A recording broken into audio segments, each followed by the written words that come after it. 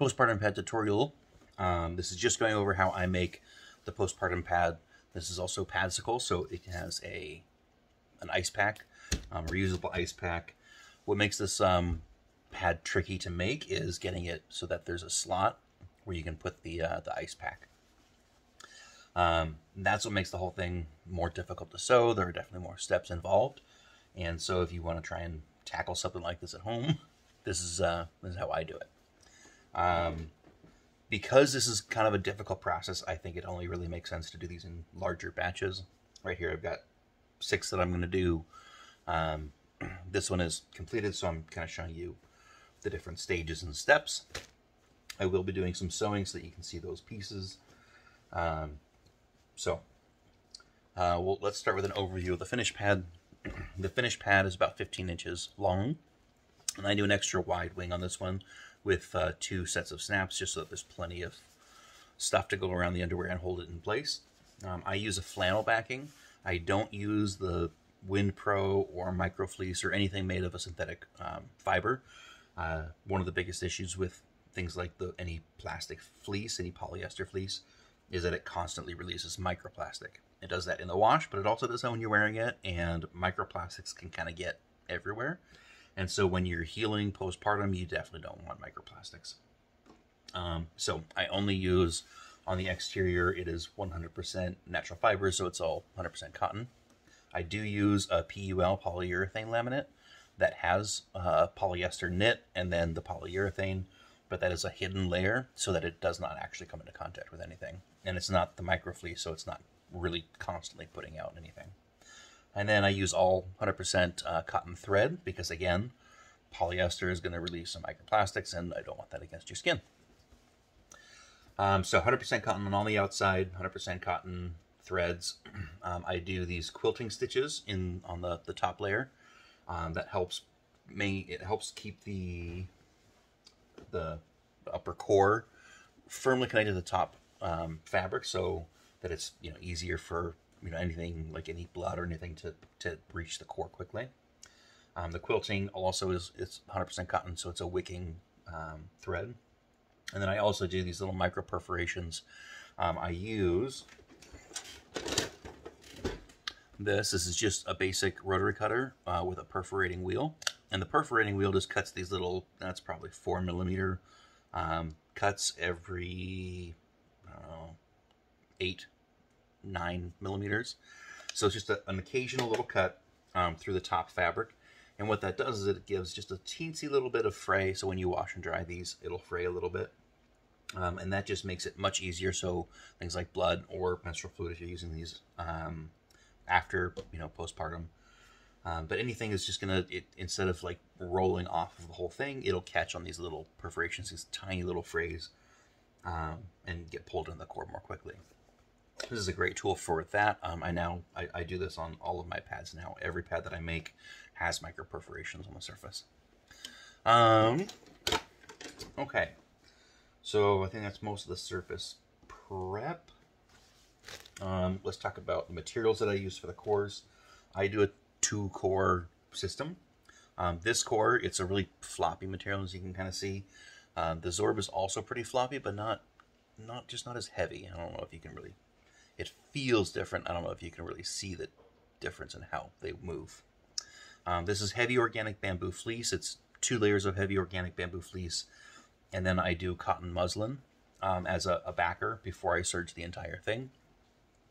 Um, the cotton makes it nice because in the end I'm going to bring the cores together and serge around the, or stitch around the perimeter and that means that it's going to be empty in the middle and so when you put the ice pack in the fabric here that's kind of exposed to the ice pack and to the wash and everything is just that finished cotton so the cotton muslin acts as like a barrier but it also helps to stabilize the core. So, two layers of heavy organic bamboo fleece. That's um, 400 um, grams per square meter in each of them, so that's a 800 uh, GSM core right here. And then in the lower core, I use Zorb Original, but I use it with uh, the Silvadur. Silvadur is an antimicrobial treatment, and it's it, it's antimicrobial because it's silver.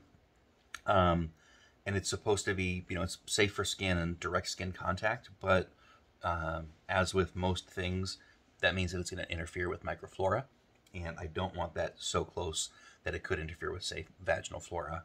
Um, and so you, you just the antimicrobial, I want it deep in the core so that it prevents you know anything from growing inside the pad, but not so that it prevents things from growing in your skin because your skin is alive. So I use the Zorb Silvadur only in the deeper layer. Um, and then again, it's just so that it's there. It prevents things from growing inside the pad, but does not interfere with the skin. Um, in order to make all that work, you got the quilting. Uh, you need a space in between everything. That's where it gets tricky for making this pad.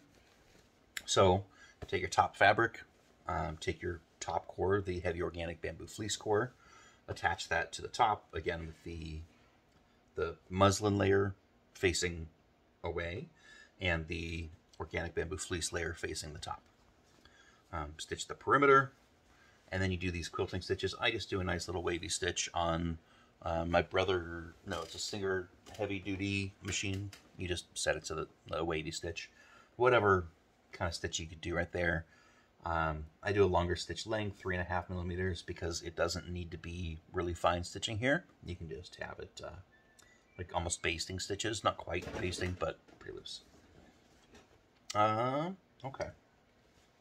Once you have that done, then you have to attach the Zorb core. Um, so let me see here. I've already attached those to these. I still have one that needs it. Okay.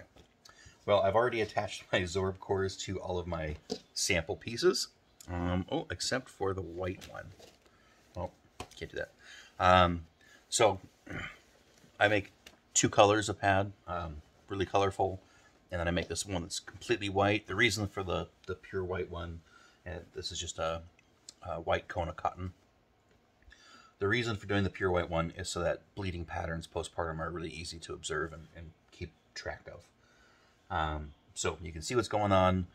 Best way to clean stains and things like that um, is soaking in like an OxiClean. Um, always wash on cold, rinse cold, wash cold. Uh, heat will set the stains because blood is a it's a protein stain, so it'll set the stain. Um, gray thread, white thread.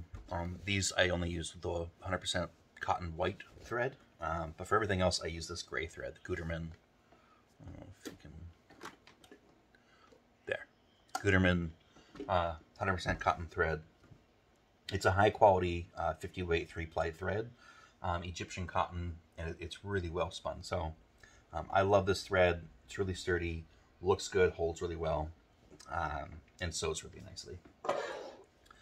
So I don't have an example pad to stitch a Zorb core onto, but bottom line, um, for stitching the core, I leave a large opening in the back. So I just, I use Wonder Clips, um, and I use the Jumbo. Yeah. yeah. There's a Jumbo clip. There's like the regular size Wonder clip. So um, I use this one when I'm doing these. And I just kind of all the way over in the very back.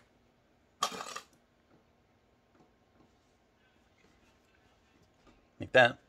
And then I stitch the perimeter all the way through and it's facing down on the machine so I can just hit the perimeter and I can watch exactly where I'm at. You don't want to get too close to the edge um, because then you're not holding on anything. But if you get too far away, then that edge could kind of curl back. Um, again, back here, you don't need to get really close. You want this to be pretty open. The reason for that is when you come down later on, you want to be able to turn this top fabric down and then down again so that it goes over this opening. And this is this is what makes the whole process more difficult is this finishing piece so that you can when you do this You'll stitch it all together, and that gives you your opening, and then you'll top stitch. And because of all that, you don't need to worry about how far you come up with the course. The course, I mean, this is pretty close. I could definitely, you know, stop my stitches down here instead of up here, and that would be great. So in the end, you want to be able to fold this over and then stitch it down so that it's just held in place and that finishes that up. It makes it sturdy for, you know, wash and dry cycles, but still leaves that access for the ice pack. Um, this has to go on after you've done your quilting stitches. Um, and that way you have the two cores. This core right here is stitched to the top fabric, and then this core is not. And that's what makes the big difference is that you got all these quilting stitches between this core, but they don't go all the way through to that core. Um, all right, so the next step for these is attaching the flannel. Um, I try and use flannels that, um, these are postpartum, so uh, with other things, I don't necessarily make them gendered, um, but with postpartum, because it, I mean, that is essentially motherhood, um, I do use uh, more gendered fabrics like this one. Um, but only for the color. For the white ones, they're just solid white. Um, I use a solid white 100% cotton flannel for that. Um, all right, let's adjust the camera. Maybe not get my belly. All right. Um, one of the other things that's nice about flannel, and you'll see that in my other videos, is um, because it's um, this, this brushed cotton, it's kind of a grippy fabric. And so once I lay down the top fabric like this, it stays in place and everything just moves together. Just line it up, and I've got my sewing line already drawn on here with a washable marker, so that'll wash out when I do the wash before I ship everything out. Um, I'm going to use my Brother uh, PQ1500. It's a fantastic machine. I love it. I mean, it was not cheap. Um, it's a faster stitch machine, semi-industrial. Um, you can definitely use a, a, regular home machine. It's not that big a deal. Um, this is just my preferred option because it's uh, really good. It's a straight stitch only, so I can't do anything decorative, but it does a great job. Um, so the turn hole in this, when you're, I like to do a, a fine stitch length, so 1.6 millimeter when I'm doing my uh, my, my sewing line before I turn. Uh, the fine stitch length just means that it's going to be much stronger.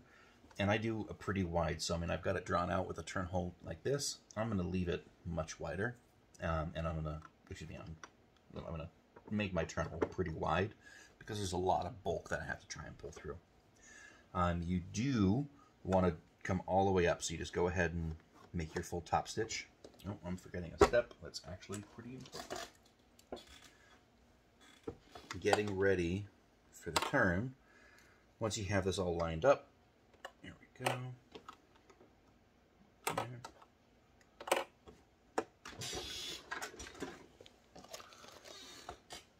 So, um, what I'm going to do is that whole last process, the end process of turning your fabric over and then over again.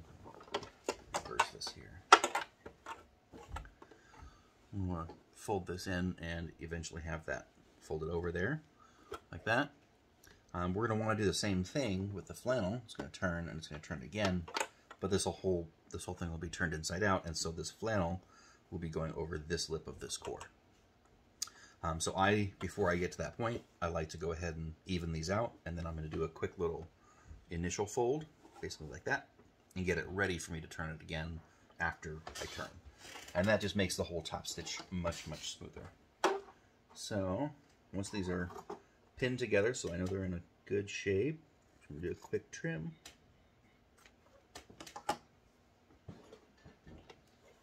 And now I'm going to use my smaller wonder clips for this.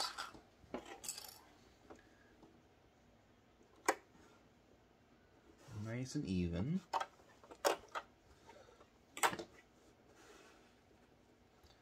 Nice straight line to the back there. And I'm to do the same thing with the flannel in a, in a second. So first, I'm going to take this. I'm just going to do a quick basting stitch at three and a half millimeters, just to hold that, that flat. Um, and that way when I go to turn and top stitch, it'll be much easier to manage and everything will match up. There's that side. You can see it's just real simple, real big stitch. Same thing here.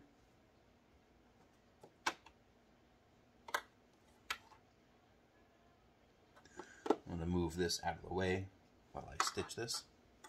So I'm only basting, just a quick baste to hold that down. Um, you could certainly iron this instead, but here I've got the machine. I'm about to stitch around, so I'm just real quickly.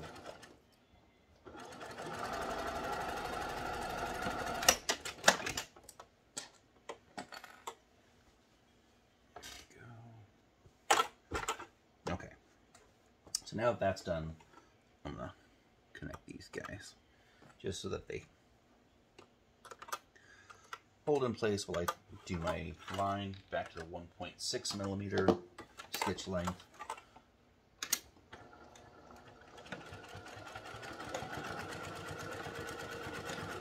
And I backstitch a couple times right at that first point for the turn hole, um, just so that it's really, uh, really reinforced stitching for when I go to turn. Adjust the camera here. I think this camera angle is going to be better for seeing what I'm doing in here. So I just did some back stitching right here at my turn hole. I'm just going to continue. Again, here I'm using the 1.6 uh, millimeter stitch length. The really fine stitch length just means that this is going to be much stronger for when I go to turn and kind of uh, straighten out and press those, those inner seams. So I'm going to take my time, follow my sew line.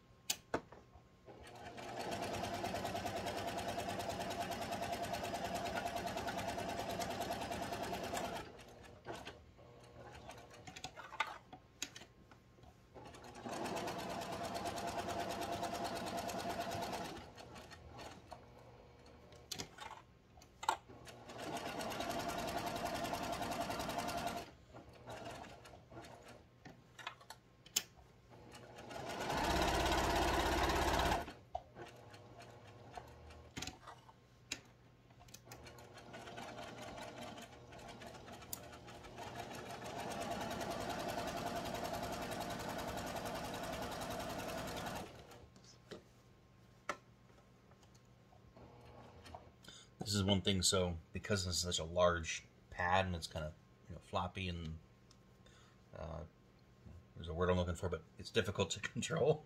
Um, I'll bring it up and just kind of curl it over on itself. So instead of it just like laying back there, I'm going to hold it up here. And it just makes it much easier to, to deal with curves and, and sewing around, things like that.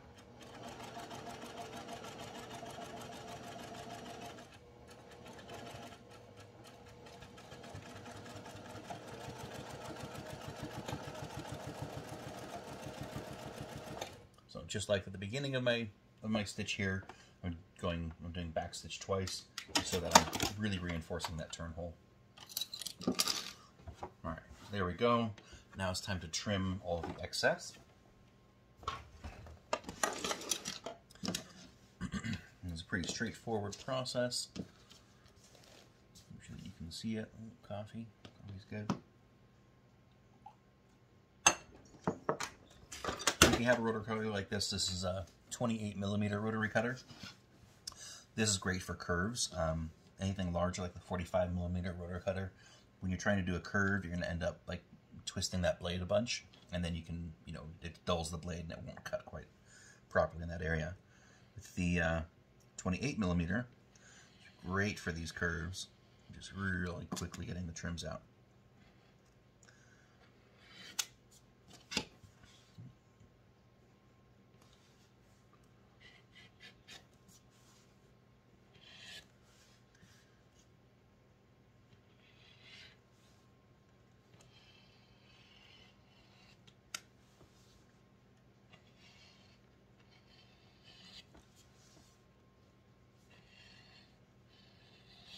And here you're leaving um, at least a quarter of an inch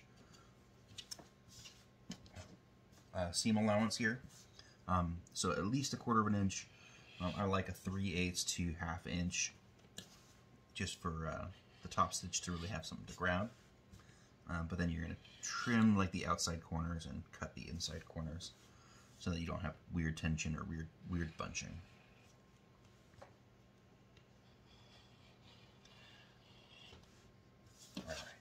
Go. And I forgot to add PUL. Um, this is why this is why it's important to do these in batches so that you remember all of the things that you're supposed to do. And when you do them in a batch instead of just one at a time, um, I like to do it kind of assembly line, get everything done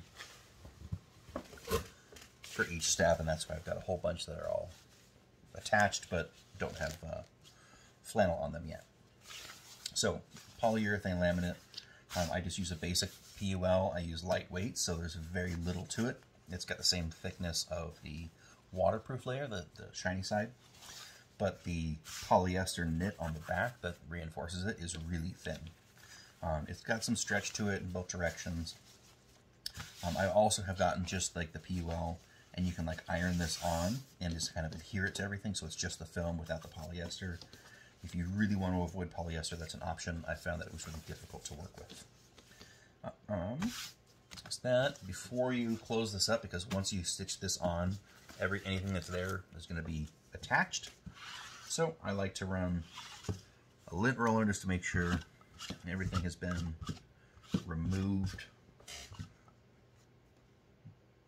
There's something. Um, let's get rid of this little. And there we go. Oh, back to my jumbo clips. so what I'm doing here, shiny side down, um, and I do it up here. And there are lots of different ways to approach this. Um, many sewists will actually attach PUL and everything at the same time instead of doing, like I just did my sewing line stitch and now I'm doing this. I prefer to make that, to, to wait and do a second time uh, for a couple different reasons. One, it means that I have a sewing line that I can follow on the reverse. Um, because the shiny side is up, it means that this is going to be against the sewing machine and can move very freely.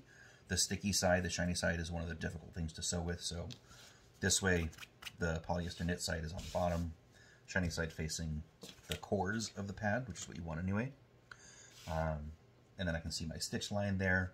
And now when I reverse, again, I, I follow this stitch line, same stitch length, but now I've reinforced the stitching. So now I have a double stitch, and it's really, really durable. Uh, get my form back in here.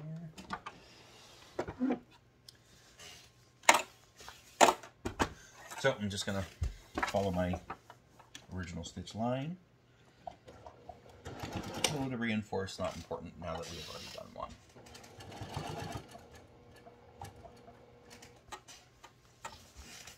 And again, the unruly, I'm just going to fold it over.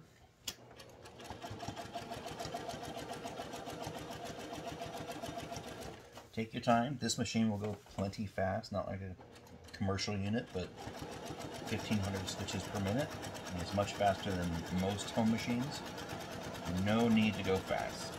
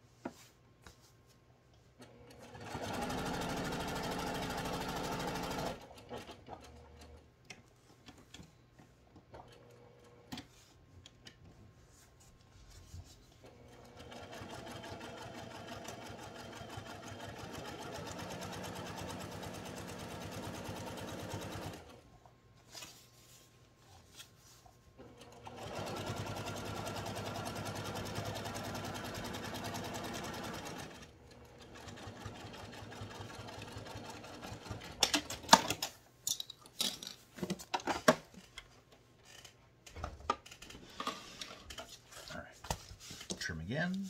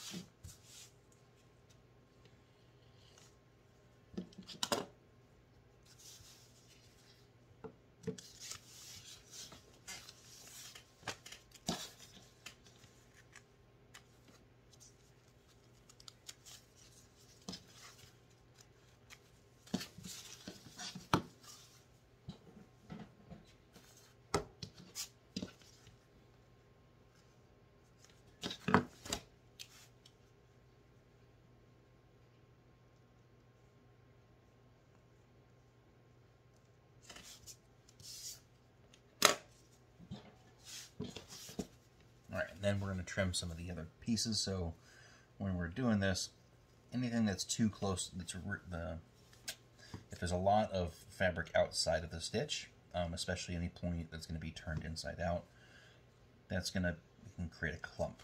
And so the most important pieces are like outside corners, like right here. As with any other, anytime you turn a top stitch, this is something you got to do. You got to snip your outside corner because this is going to be like this is going to go this way and this is going to go this way when it's turned inside out, and so you want that to over to not overlap. If you don't do that, this would overlap this way, and then this guy's to do that, and then you have that overlap, and that gets all bunchy and lumpy, and that's what you want to that's what you want to avoid by snipping the corner so that so that when it when you turn in top stitch, it does this instead of that.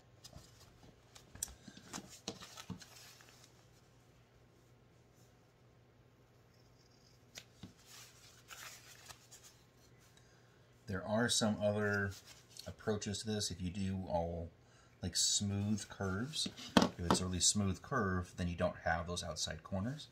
Um, and so you don't have to come back and trim. Some sewists really prefer that. Um, what I've found is the finished product, if you have a really smooth line, then when you go to, you know, fold it around the gusset, the smooth line means that there's not a clear point for it to just fold over. And so the whole thing ends up being curved like this, or rather, uh, how best to demonstrate. Um, so a curved line means the whole thing just curves upside down. And when you want something like this, um, you want it to catch everything and let it absorb. So this, this clear corner means that when you do close it, it's got a really clear little point and it doesn't pull the rest of the pad down and allows it to sit like this. So um, there's a benefit. It's a little bit more work to come through and cut all of these, but the end result is ends up being uh, better for what we're using it for. If these were not you know, pads that need to conform to a human body. And then, then maybe if you were just turning and top stitching something else, and that would be great. But these are for a human being, and human beings are curvy and they need things to, to, to fit right.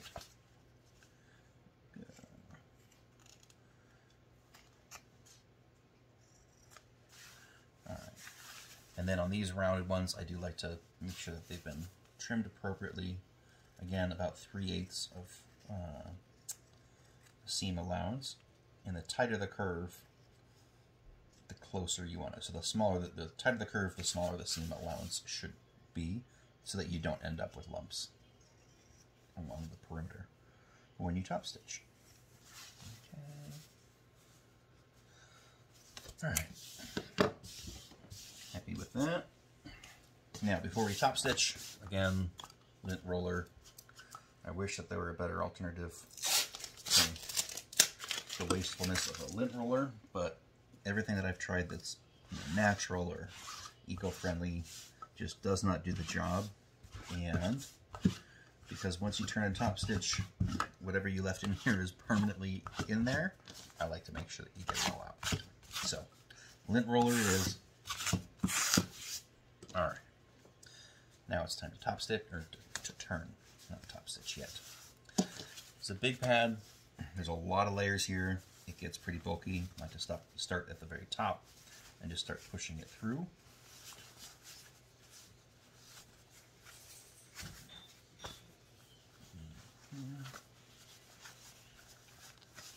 And at some point it just becomes impossible and then I go to the turn hole. Just grab hold start to pull through. Once you have a nice little grip on there, you can pull on those wings. Start pulling everything through. There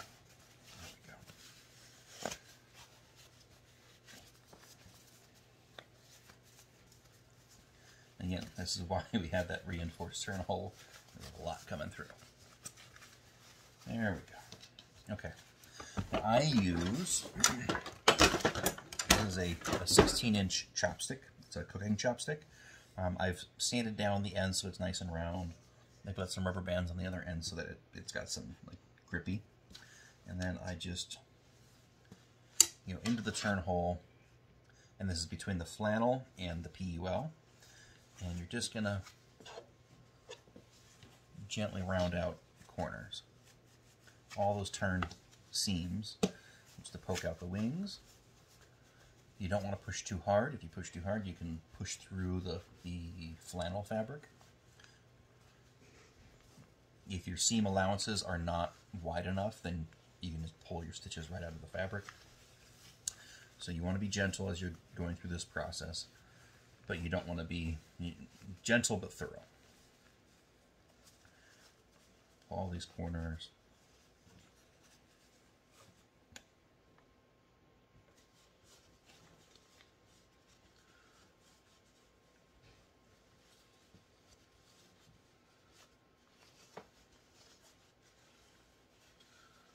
I like to run all along the entire seam, just pushing it out so that you know we're fully getting to that actual sew line.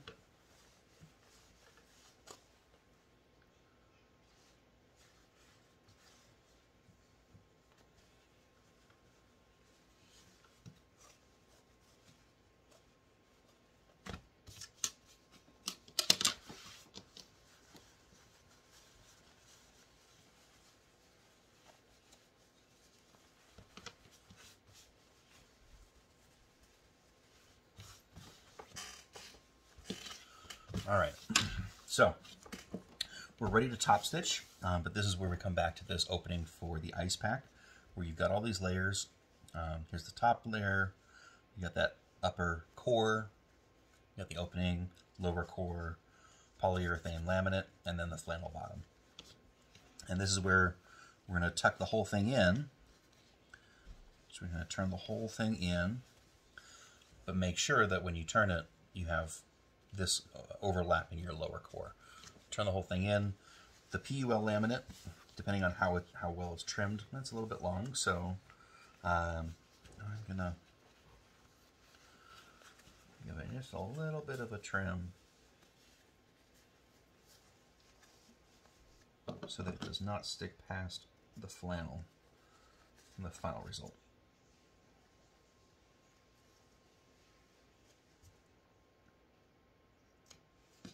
So a little bit off. And now when we turn this in,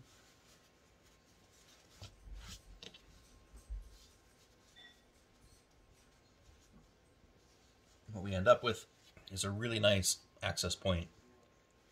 We're just going to do a little bit of stitching to hold that down, hold that down. It's like tack stitching. We're not actually going to go all the way to the edge, which would be impossible because of the way that the sewing foot works. Uh, but at this point, this is the only way to, to finish this product. Um, so you do this before your top stitch because the top stitch is going to make it even more difficult to reach the back end. Um, sometimes I will change out this particular foot uh, for this foot. just because it's, you know,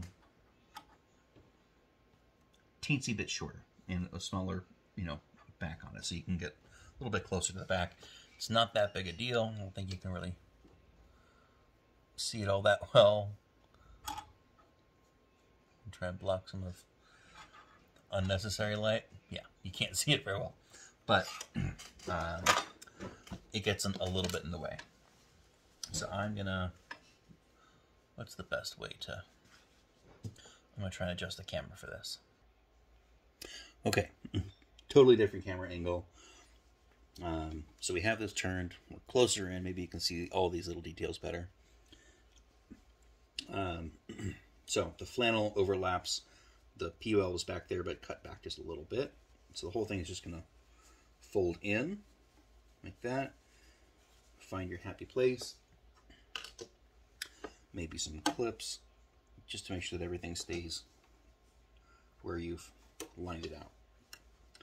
And then we're just gonna come in here. And again, this does not need to be a complete stitch from all the way back. And again, we're gonna hit this closure, so I'm not gonna be able to go back very far. Let's see how far I can get my back stitch before the foot runs into the seam. Yeah. So needle right there, I mean, it's a good inch away. That's okay. We're just just closing everything up. What you can.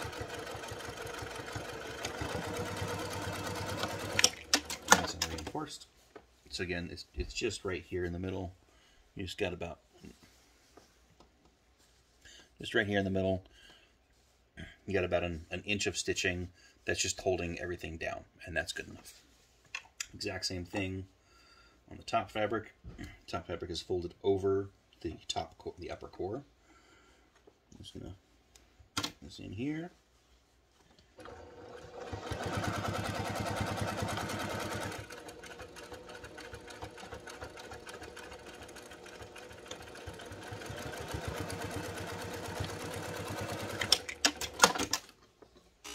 Is. Just this little bit of stitching goes through and holds everything. So now we are ready to top stitch and then we've got this pocket for the, uh, the ice pack. So I'm going to get my extension out.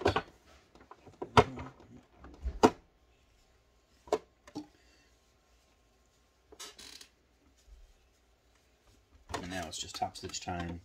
And I'm going to do this at 2 millimeter stitch length. So it's you know not really big, but not not not particularly important point. And reinforce that point so that you know this is a wear spot. It's going to get open and closed and pulled around, so you want to make sure that's reinforced. I'm just going to follow our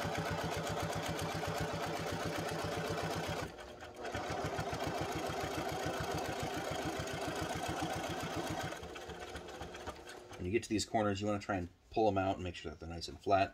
This is when we did that. We snipped the inside corner before we turned the top stitch. Um, if we hadn't, then it would be pulling the whole thing closed. And by snipping it in, it lets it kind of flatten out.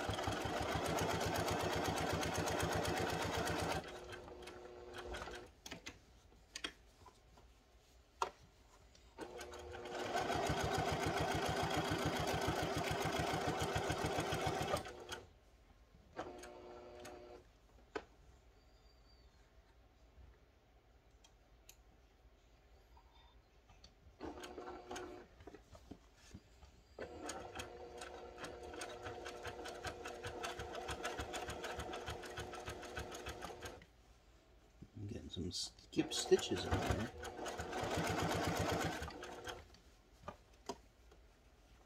Especially with something like this, when you have this many layers, it gets really thick. Things that are really thick, you can have some skip stitches. I have to go back and fix that.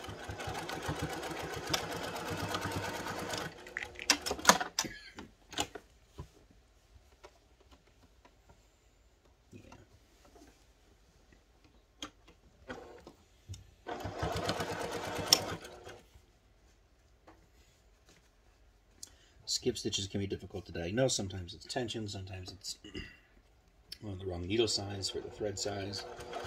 Sometimes it's a worn needle.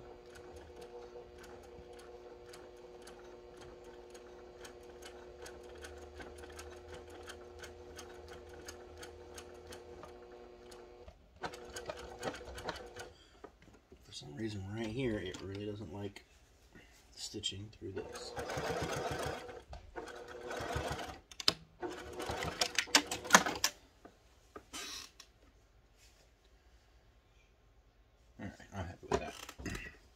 Alright, so uh, the only thing left to do for this is to add snaps, and I just use KAM snaps.